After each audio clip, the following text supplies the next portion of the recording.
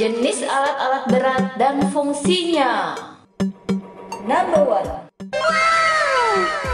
Soil stabilizer. Soil stabilizer adalah alat yang berfungsi sebagai pendaur ulang pada pekerjaan pemeliharaan jalan dan sebagai alat dalam proses stabilisasi tanah. Soil stabilizer digunakan untuk perbaikan kondisi tanah dasar pada pembuatan jalan atau landasan pacu. Mesin ini bekerja dengan cara menggali, mencampur, dan menggelar kembali tanah yang ada dengan memberikan bahan tambahan untuk stabilitas tanah. Number two. Eskavator. Eskavator merupakan alat yang digunakan dalam proses ekskavasi. Kini fungsinya meluas menjadi penggali serbaguna. Eskavator mengangkut material berupa tanah, batu, dan pasir ke dalam truk dengan jumlah yang banyak atau bisa membawanya dalam jarak dekat.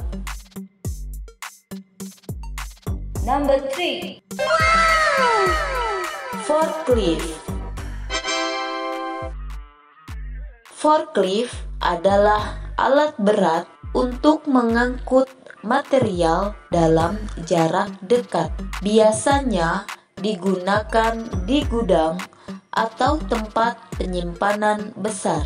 Forklift dioperasikan oleh roda kemudi, dan kontrol dashboard. Peralatan ini sangat bagus untuk bongkar muat paket atau material berat.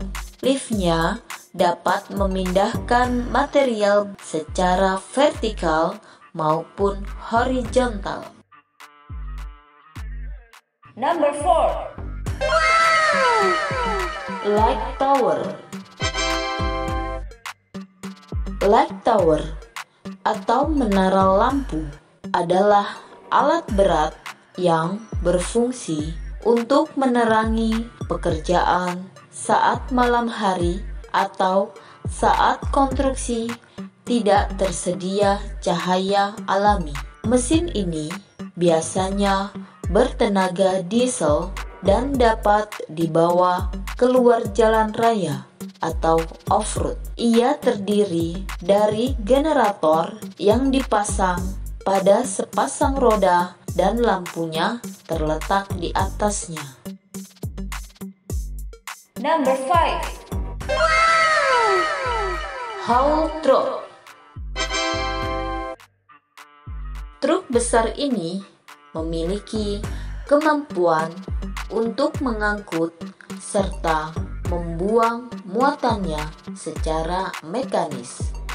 Truk ini biasa digunakan pada pabrik semen atau pertambangan dengan kemampuan mengangkut material tanah ataupun batu dengan jumlah yang sangat besar dan mampu bekerja dalam waktu yang cukup lama dengan muatan material yang sangat banyak.